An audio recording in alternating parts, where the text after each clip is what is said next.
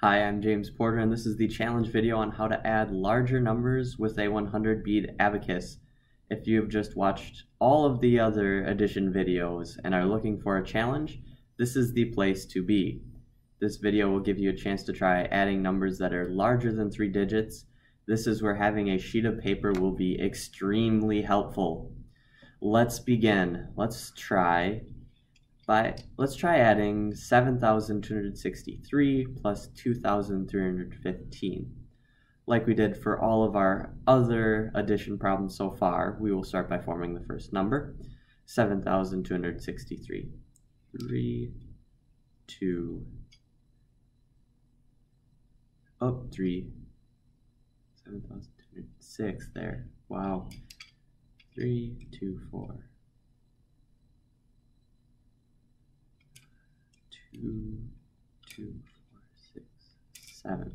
There's 7,263. I got my numbers a little mixed up, but we got the number in the end.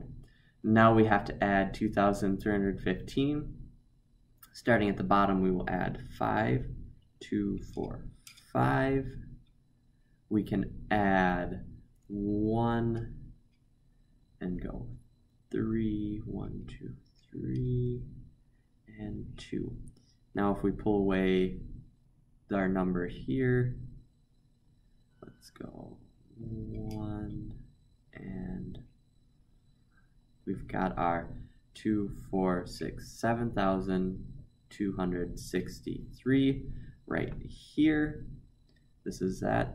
And then on this side we have 2,315. Now when we slap them together, we get the answer to that problem which is where you would need a sheet of paper. This one is extremely hard to just say, oh, it's 111 or something. So let's count the beads. 2, 4, 6, 9, 2, 4, 5, 2, 4, 6, 7, 2, 4, 6, 8. That gives us an answer of 9,578. Your abacus should look something like this. All right, let's continue on and we're gonna do another example. This one's a little harder than the first, but still doable. Anytime that you feel the need to pause the video and watch the prior question again, you can go ahead. If you feel like you need to stop and try again another day, that is also fine. But if you would like to continue, we're gonna try adding 426,824 plus 289,036. Let's start by forming the first number. Let's go 4, 2, 8, 8, 6, 2, 4, 6, 2, and 4. This should give us 2, 4, 4,426,824. Now we need to add 289,036. Start with the bottom row and add 6 in our ones, 2, 4, 6. Since we have formed a group of 10, we can move one 10 bead over and move 10 1 beads back.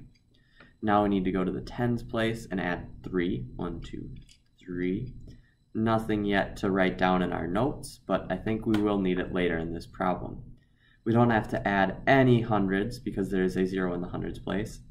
Next, we do need to add nine thousands though. One, two, three, four. I was right. We need to write four in the corner because this is where notes is going to be really helpful because there are a lot of numbers going through our heads right now.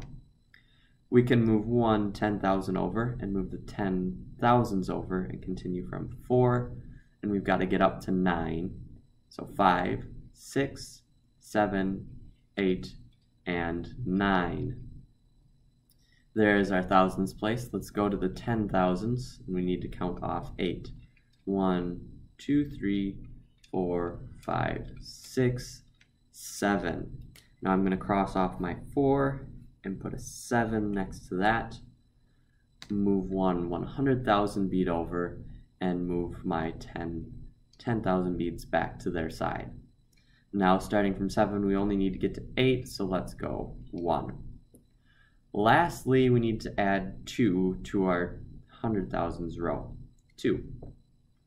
This is our number, but it isn't really easy to just say it is a number, so we need to write it down. Let's start with at the top, 2, 4, 6, 7, 1, and then 2, 4, 5. We go 2, 4, 6, 8, 2, 4, 6, 0. So I wrote down, starting from the top to the bottom, my numbers and figured out that our answer to the equation is 715,860. All right, that one was tricky, but this last one is going to be the hardest problem you have done so far. So let's move our beads back and get started. Again, if you need to go back and watch the prior question that we just answered, you can do that. If you feel like you need to stop and try again another day, go ahead at any time. But this one's going to be 4,593,275 plus 4,712,904. This one is a very, very large number. So let's get started forming the first number because we do that in every addition and subtraction problem. Let's start in the ones place, 2, 4, 5, 2, 4, 6, 7, 2, then 1, 2, 3, followed by 2, 4, 6, 8, 9, 2, 4, 5, and 1, 2, 3, 4. So we have 4,593,275. Now we need to add 4,712,904. Start at the bottom and add 4. 1, 2, 3, 4. No notes to take here because we have beads left. Continuing up to the tens place, there is a 0, so we don't have to add beads there either. But in the next row, the hundreds row, we have to add 9. So let's start 1, 2, 3, 4, 5, 6, 7, 8. At this point, I will write the number 8 down. Move one 1,000 bead over and move the 10 hundreds back. One red bead, 10 tan beads. Then I will continue from 8 and get to 9.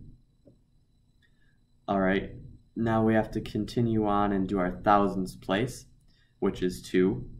1, 2. Pretty simple. Then we have to do our ten thousands, which is 1. Since we have made a group of 10, we can move one yellow bead, not the first group, but our hundred thousands yellow beads, and move our ten thousands back. Now we have to do the hundred thousands, which in this case is 7. 1, 2, 3, 4. I'm going to cross off the 8 we had from earlier and write down 4 so we can remember it. All right, and then we have to move one green bead and move these 10 yellow beads back. Starting from 4 and we have to get to 7, so we go four, five, six, seven. There is our hundred thousands place, and lastly we have to do our millions place. So one, two, three, four. This one is a very, very large number, which I would strongly suggest having a sheet of paper for it was hard for me to do even with a sheet of paper. So you should really have a sheet of paper too. All right, let's figure out what number we have formed. Two, four, six, eight, nine, three. Since there are zero in this row, we can add a zero for a placeholder. Next, we need to go to the thousands. Two, four, six. All right, then in the hundreds, we have a one. In the tens, we have two, four, six, 7. And in the ones, we have 2, 4, 6, 8, 9. Now this number that we have just formed, if we did the equation right, which I do believe we did, we get 9,306,179. This is what your abacus should look like, and you've done a great job today. If you'd like to try some more challenging problems, you can talk to your teacher because I'm out of problems for you to try. I'm James Porter, signing off for now, but remember, a broken abacus is no one's best friend because no one can count on it.